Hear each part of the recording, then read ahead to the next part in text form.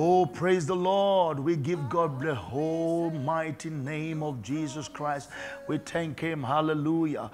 What a wonderful day that God has brought us in in Jesus' name. I want to bless you today because it is your day to testify. The Bible says in Psalm 30 and verse 2, the Bible says, Oh Lord my God, I cried out to you and you healed me. In the name of Jesus Christ, this is your day where prayers are answered.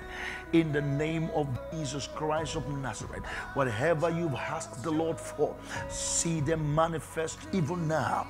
In the name of Jesus Christ, I pray for that healing power of God to prevail. Every heart cry to God. See the answers right now. That whatever burdens you have carried in your hand, you will see as a testimony in your hand. In the name of Jesus, I release the power of God right now. Begin to see answers to prayers. Begin to see manifestation in the name of Jesus Christ. I decree that now happening by the power of God in Jesus' name, amen.